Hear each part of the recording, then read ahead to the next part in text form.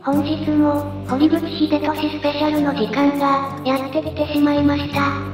さて、皆様お待ちかね。本日に1日12時から、堀口秀俊くんによる、白真の連続ログインボーナスの投稿が始まっています。いやー、楽しみですね。一体どんなプレリリが投稿されるのでしょうか。特に一発目は大事ですよ。12時に投稿される一発の記事は、きっとクソでかい爆弾に違いありません。もう待ちきれないよ。早く出してくれ。というわけで、本日12時に投稿された、堀口秀俊くんの一発目のログボノートから、引用します。この度、2023年11月に日付で、特定電気通信駅務提供者の損害賠償責任の制限及び、発信者情報の開示に関する法律、プロバイダ責任制限法、第5条第1項の規定に基づき、株式会社ハテナを相手方とする、発信者情報開示命令を、東京地方裁判所に申し立てました。今後、本件に関して、お知らせすべき事象が生じた場合は、適宜公表いたします。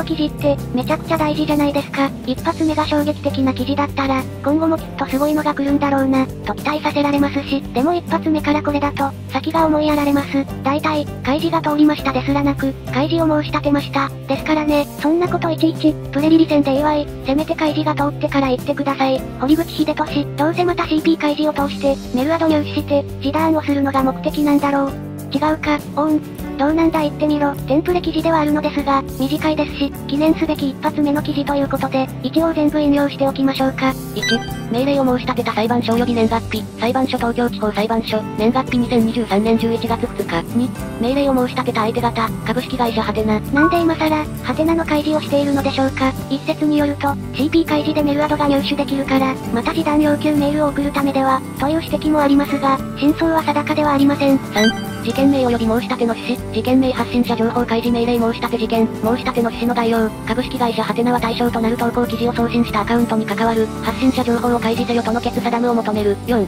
申し立ての原因手続きに至った当法の主張、ウェブサイトハテナ匿名ダイアリーにおいて、悪質な発信者により権利を侵害される記事が投稿された、一連の発信者に対する損害賠償請求他法的措置を予定しているため、当該発信者に関する情報の開示を受けるべき理由が存在する。よって、同社を相手方とする発信者情報開示命令を東京地方裁判所に申し立てた。法的措置を予定しているため、とありますが、なぜか AP 開示して訴訟まで行かずに、延々と示談をしている堀口くん。一体何がしたいのでしょうか堀口くんみたいに、開示するだけして訴えない場合は、何らかの罰則が必要だと思います。堀口くん、何なんですか？これは、君はエンタメというものが全くわかっていないようです。今日の12時は堀口くんのノートに、いつもより多くのアクセスがあったはずです。それなのにこのざまとは、何考えてんだお前は、オン、相変わらず、見ている人を楽しませようとか、そういうサービス精神が、一切見えません。やり直し、マイナスいいよ来いよ行く行く点。通過堀口くんは、どうしたいんですか？このノートを出すことで、周りにどう思わせたいんでしょうか？周りの人は嫉妬、という感想を大体みんな持っているはずです。これが堀口くんの狙いだったんですか？何がしたいのマジで？まあでも、堀口くんのログボノートの更新は、25日まで2時間おきにあるみたいですから、12時の次は、14時、16時、18時と、まだまだノート更新は続きます。最初は軽めのものを出して、徐々に強めのプレリリを出していく。とかそういう感じなのかもしれません。とりあえず、14時のプレリリを見てみましょうか。14時のプレリリもクソだったら、本当にもうおしまいです。頼むぞ英利。14時はちょっと強めのプレリリ来てくれ。と思っていたら、14時はノートの投稿自体がありませんでした。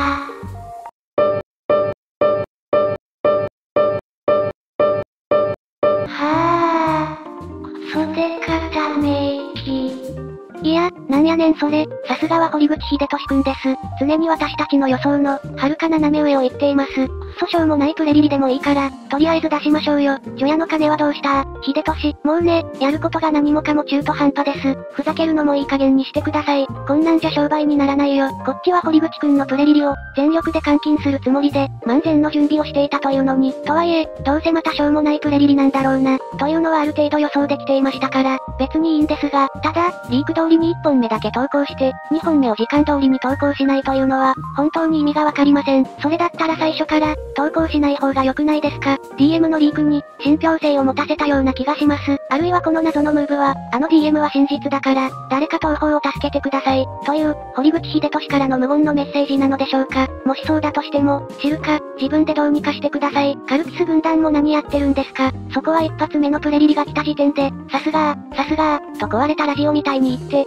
堀口くんをしっかり持ち上げないと、盛大にみこしを担ぎ上げてから、その後谷底に投げ落とすというのが、お笑いの基本でしょうが、何もわかってねえわお前らは。ほんとダメだわ。ほんと、ダメ。本当にもう、ただただ残念です。なんやこれ一体、頭おかしなるで、それはそれとして、本日のアルパカ社長の配信は、拡散希望とのことなので、宣伝させてもらいます。アルパカ社長のポストから引用します。今回は拡散希望です。あんま拡散希望とか言いたくないんですが、この件を追ってる人は、予想外すぎてびっくりしますよ。何か向こう界隈では、信憑性がないから無視、する方針に決まったらしいですね。まあイサウトで散々こき下ろしたのを、事実とは言えませんわね。というわけで、アルパカ社長の生配信は、本日22時からとなっています。お楽しみに、堀口くんのログボ、かっこ笑いには、もう期待できないので、アルパカ社長のの生配信を見た方が良いです。っていうか堀口くん、ログインボーナスの意味わかってるんですかねソシャゲとかやったことあるんでしょうか子供の時から色々ゲームを買い与えてもらってるから、ソシャゲとかやったことなくて、適当にログボっていう言葉を使ってそう。さて、話は変わって、ここで緊急速報が2つ、入ってきました。まず1つ目、X が一時的に落ちているみたいです。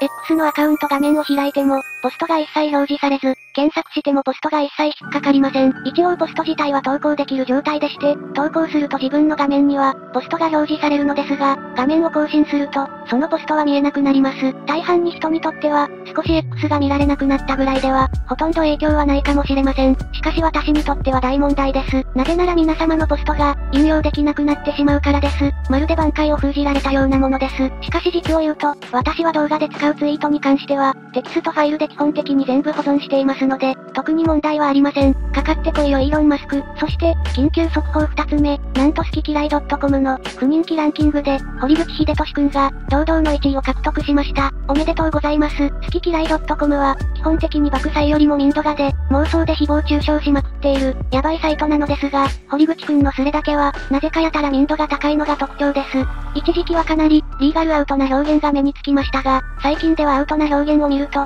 注意したり、便乗して書き込むとアウトになるから真似するな、みたいな書き込みがなされるようになりました。まるでこの世の終わりみたいな、好き嫌い .com というサイトで、なぜか堀口秀俊すれだけ、民度が高いという、謎の怪奇現象が発生しています。おかしいやろ。しかも堀口秀俊には、何者かが延々と、スクリプトで好きに投票し続けていたため、1位になることはできませんでした。そのスクリプトの抵抗を跳ねのけての、堂々の不人気ランキング1位。やはり堀口秀俊というコンテンツの、強力さを感じずにはいられません。これ、スクリプトがもしなかったら、とっくに1位に躍り出ていましたからね。堀口秀俊は全身に重りをつけた状態で、1位になっているのですから、凄まじいです。今まで不人気ランキング1位に君臨していたのは、あやなんとかいう、レジェンドでした。あやなんは非常に強敵で、難攻不落のラスボスと思われていました。しかし我らが追う、堀口秀俊くんは、スクリプトというハンデを跳ねのけて、レジェンドのあやなんを、玉座から引きずり下ろすという、前代未聞の偉業を達成。これもう堀口くんは実質、エルデの王だろ。まあ、こんな限界集落でのランキングなんて、ぶっちゃけどうでもいいんですけどね。ただ、スクリプトを跳ねのけて1位になった、というのが面白かったので、今回紹介させてもらいますました。堀口くん、かわいちょ。さて、次は、ひまそらあかね様のポストから、引用します。金曜までに望月書面、月曜までに堀口くん書面か、持ってくれよな、オラの腹筋。堀口くんと裁判する時のメリットで、書面が換金できるというのがあるのですが、それ以上に原文を一足先に読めるというのが、最大のメリットかもしれません。というわけで学者の方々は、積極的に堀口くんと、裁判することをお勧めします。唐突な無茶振り、堀口くんと裁判するだけで、腹筋が鍛えられるので、裁判が終わった頃には、腹筋が6個に割れてそう。本人訴訟だと、あのレベルの書面が毎回出てくるわけでしょ。頭おかしなるで、いや頭おかしなるでっていうか、お腹おかしなるで。死者って資格がいらないんでしょ。堀口さんの友達が行けばいいのに。人の心とかないんか。堀口くんの友達80人は、今全員忙しいんですよ。たまたま今来れる人が、なぜか一人もいないだけです。タイミングがジャストフィットしてしまっただけです。3月16日、学習院から報復通告が来ました。だったと思うけど、自主退学したの、3月17日ね。報復が来たとか言って、抗いもせず即自主退学、尻尾巻いて逃げたのかよあんだけ悪態ついてたのに、逃げるときはすぐ逃げるという、サイトの管理人は別人です、と主張し始めた件にしてもそうですけど、堀口くんはいざとなったらこういう感じで、全力で逃げるみたいです。本当に大学側がおかしいと思うんだったら、最後の最後まで居座って、抗議するべきだと思いませんか？最後の最後まで自分を信じることが、できていないあたり、やはり自分が間違っていることに、堀口くん本人も気づいているのでしょうか？自分が100%絶対に正しい、と本気で思い込んでいたら、マスパセみたいに最後の最後まで、自己中ワールドを展開し続けるはずです。やはり深いところでは、自分に自信がないのかなと、心が弱いのかなと、感じてしまいます。ちなみにローランド様は、周りの人たちからよく、自分に自信が持てません、という相談を受けるそうです。テレビ番組で同様の相談を受けた時の、ローランド様の回答がこちら。人を魅力的にさせる最も大切なツール、それは自信だと思っている。では、はい、今から自信を持ってください、と伝えれば、誰でも簡単に自信が持てるようになるか、といえば、そうではない。そんな簡単に自信が持てたら、今頃スマホの所有率と同じぐらいぐらい、みんなが自信を所有しているはずだ。だからいつもアドバイスするのは、自信のあるふりでいい。自信のあるふりを頑張ってやってごらん、と。人の心とは難しい。自分で同行できない部分が大半だ。だから、無理に自信を持とうと気負いすぎると、自信持たなきゃいけないのに、自信が出てこない。ああどうしよう。って、負の連鎖に陥るのが関の山。そんな時は、自信がない自分を、素直に受け入れてあげればいいんだよ。そうか、お前は自信が持てないんだな。よしわかったよ。もうしょうがねえよ。って笑い、まず受け入れる。その上でどうしたら、自信があるように見せられるかに、視点を変える、背筋を伸ばしてみる、ゆっくりと喋ってみる、声のトーンを落としてみる、などなど、どう？これならできそうじゃない、建設的じゃない、昨年のロシアダブルハイグループリーグ初戦のコロンビア戦、前半3分の香川の PK だって、蹴る前に笑っていた、あの表情を見て、ああ、これはまず外さないな、と俺は思った。心理状態は変えられなくても、仕草ならその瞬間から変えられる、自信のあるふりをしていて、たまたま話が少し受けて流れを掴んできて、あれ、そういえば、気づいたらいつの間にか、自信満々で喋れているじゃん、ということになったことが多々ある。自信があるように振る舞っているうちに、なりたい自分に近づけた、というわけ。だから、従業員たちにも常日頃から言っている、自信のあるふりをしろ、と。まあ、俺クラスになると、常に鏡とじゃんけんしても、勝てるぐらいの自信が備わっているのだけど、笑い。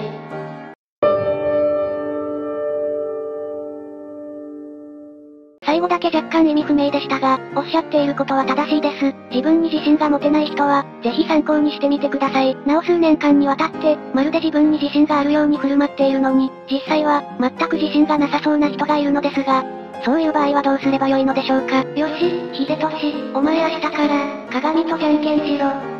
さて、次は、誹謗中傷の裁判に関する、高橋雄一郎弁護士のポストから、引用します。自丸を決意させたり、メンタルを崩壊させるようなひどい悪口は別だが、ちょっとした悪口や、嫌味やややこすりぐらいで、いちいち開示請求したり、損害賠償請求するのは良くない。裁判所も認定ハードルを上げ、損害額も低く認定すべき。SNS は下品な吹き溜まり、アカウントは自ら鋼のメンタルを持つのが望ましい。あくまで一般論なので、セーフ。どこまで許せるかのラインは、人によって結構異なるので、難しいところです。例えば、私だったら全然気にしないような発言でも、ものすごく傷つく配信者もいますし、自分がどうしても許せないという投稿を、訴えて責任を取らせるのは、とても良いことだと思います。ただ、周りから見て、こんなしょうもないことで訴えるの、みたいに思われたら、その時点で裁判戦略として失当です。例えば、高橋雄一郎弁護士が、裁判で戦った、あのお方とか、ちょっと言うだけで賠償金100万とかになると、言論が萎縮するので、誹謗中傷の賠償金が高額になるのも、考えものです。ただ現状だと、開示請求の費用が相当な負担になるので、何か救済措置は必要ではないでしょうか。あまりにも LINE 声の誹謗中傷には、被告に開示請求の費用を全額負担させるような、仕組みを作るとか、名誉毀損や、社会通念上許される言動を超えた、侮辱をした、として訴えられたら、答弁書の段階で、違法だと思ってないので金銭賠償はできないが、不快感を与えたことは確かなので、追消して謝罪する用意がある、と上申する。裁判官は和解を試み、原告が和解を蹴ると、多くの場合請求棄却判決が待っている。一般論だけど、民事紛争は、最後は金で解決するので、相手に謝罪を求めるのは、多くの場合は意味がない。相手は、謝罪だけで紛争解決、ラッキー、とか考えてるかも。謝罪されたことを後悔して、自分の正しさを世界に向けて、アピールするのかもしれないが、そんな下すぎた自己満足をしている人が、かわいそうだね。謝罪されたことを後悔して、自分の正しさを世界に向けてアピールする人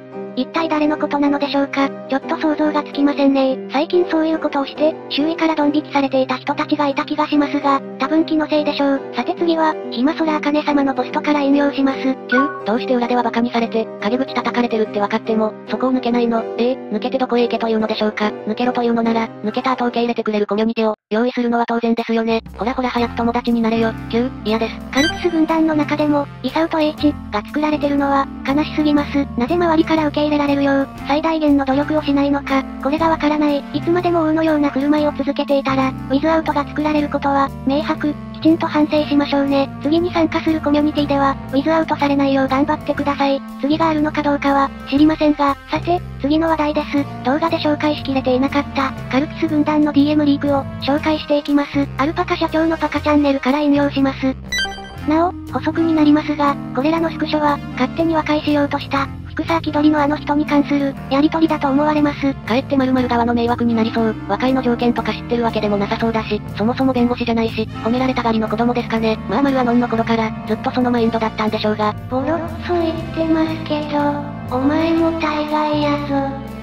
福沢気取りの人を、批判するのは当然だと思うのですが、暇あのんとか言ってる時点で、いかにも頭良さそうな感じがします。さ、〇〇〇さん、何がしたいのか、本当によくわからん。〇〇あがめてた時と同じように、和解の介入すれば、手柄になるとでも、思ってんのかな。あなたはもう、何もしないで。そうだよ、便乗。こういう、ちょっと痛い感じの人からも、ボロクソに言われている〇〇さんが、気の毒でなりません。ただ、〇〇さんが今後、何もしない方がいいという点には同意です。というかもう表に出てこないでほしいです。あと、スペースにも出てこないでほしいです。迷惑です。これ、〇アノンがするつもりないのに、和解したいって言って、〇〇さんに DM したりしたら、面倒くさそう。それでスクショを取られたりしたら、非弁がどうこう騒がれそうだけど、〇〇さんって、自分がしたことで、周りにどういう影響が出るかとか、考えられねえの。考えられるわけねえだろ。何言ってるんですか。今までの〇〇〇の害悪ムーブを、見ていないのでしょうか。それにしても〇〇〇さんは、大変ですね。一方で叩かれたから、逆ギレして反転したら、反転先でも叩かれて、馬鹿にされて、なぜ〇〇さんは、そんな悲しいことになるのでしょうか一体どうすれば解決できるのでしょうかその解決策は、堀口秀俊くんが知っているかもしれません。というわけで〇〇〇さんは大至急、堀口くんに相談しましょう。きっと堀口くんならこの問題を、解決できるはずです。先ほど紹介した辛辣な発言に対して、カルピス軍団の DM では、次のような反応がありました。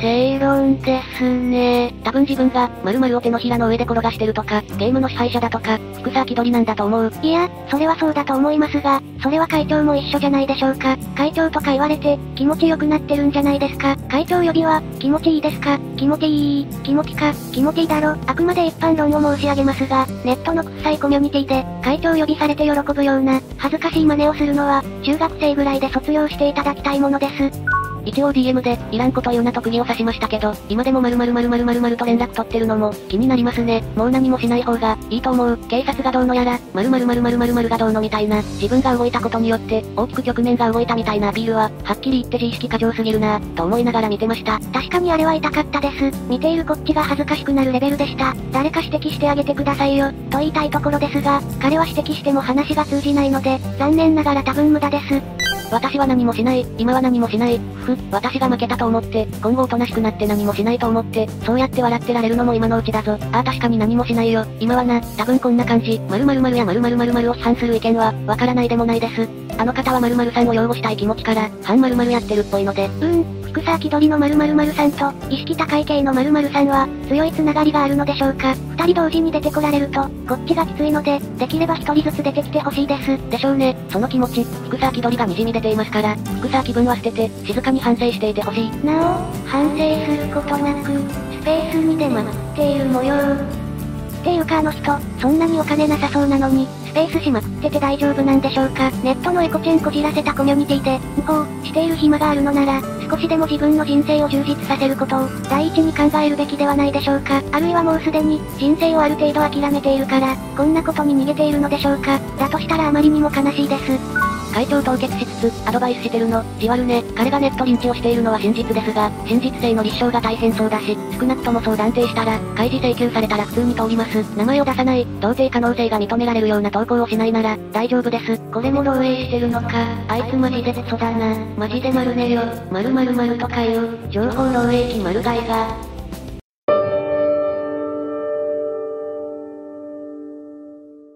その情報漏洩期〇〇〇を、コミュニティに招き入れたのは、あなた方では、こういうところが、まさに多席的攻撃性です。自分たちの落ち度を反省するのではなく、人のせいにして罵倒していくスタイルです。そういう世の中を舐めた考えだから、失敗して、ボロを出してしまったのではないでしょうか。小学生並みの罵倒をしている暇があったら、少しは自分たちの行いを反省しましょう。それぐらいのことは、世の中の小学生たちですら、普通にやっています。会長、河合長、その中で、私があたかも〇〇弁護士と、協力していると誤解を招くような発言を、しておりましたが、これは私の軽率さにより、なんとか〇〇氏を和解に同意させたい、との思いから発した嘘です。カス野郎、はっきり言って、〇〇も〇〇も、ワイはキルで、メリットないやん、個別にやってこ、でしまいちゃう。自分が可愛いやつと、いつまでもつるんどったら、こっちが破滅するだけは。気づくのが遅い、マイナス36万、4364点。大学生ぐらいの、イメージでした。これはおそらく、福沢気取りの〇〇の、年齢に関する話でしょう。そうでしょうか。むしろ私は、結構年いってそうだなと感じていましたが、俺の2倍ぐらい年取ってそうな人間が、あそこまでだと、本当に呆れますね。年齢の積み重ねで、解決できる問題ではないんでしょうね。助言者が常に忠告し続けない限り、同じことを繰り返すと思う、〇〇らしき人間の顔見たことありますが、30代なんですかね。自己申告なので、嘘かもですね。ところで、〇〇〇倍くらい年取ってるって、会長は20代前半なんですか？すごい統率力。いや、何を言うとんねんお前は、今まで会長が、統率力を発揮した場面が、一度だってありましたか？これはあれですか？遠回しに会長をディスっているという、高度な皮肉か何かですか？笑い、統率力が高いのなら、福沢気取りの〇〇〇に足を引っ張られて、自爆したりすることは、絶対にありません。というか、福沢気取りの〇〇〇の、これまでの言動を見るだけで、仲間にしても足を引っ張るだけというのは、すぐにわかるじゃないですか。そういう普通に考えたらわかることを、理解できないから、会長は失敗したんですよ。しっかり反省しましょうねこれからも会長が、すごい統率力を発してくれることを、楽しみにしています。そして会長は、こんなことをおっしゃっています。24なんで、〇〇さん世代ですね。これはまあ、実年齢とはずらして言っているはずです。会長はカルピス軍団のことを、鉄砲玉としてしか見ていませんから、本当のことをここで言うはずがありません。いや会長、これからの人生、一体どうするつもりなんでしょうか黙っていれば逃げ切れるとか、まさかそんな甘いことを考えているのでしょうか最後に自前の広告が流れます。めちゃめちゃ美味しい紅茶を、紹介します。ラクシュミー、極上蜂蜜紅茶、ティーバッグの紅茶で、紅茶自体も上質で、封を開けた瞬間に、ふわっと良い香りが広がります。ティーバッグ自体に、蜂蜜が入っているので、何も入れずにそのまま飲めちゃいます。紅茶自体が美味しいですし、そこに蜂蜜の優しい甘みが加わって、たまりませんわ暑い時期は、アイスティーでも楽しめます。Amazon の販売ページにアイスティーの作り方が、書いてあるので参考にしてください。だいたい1パイ60円ぐらいです。ティーバッグの紅茶にしては高いですが、ペットボトルのジュースとかを買うのに比べたら、全然安いですよ。ペットボトルの紅茶より断然美味しいので、ぜひ一度飲んでみてください。購入はコメント欄または概要欄からどうぞ。最後までご視聴ありがとうございました。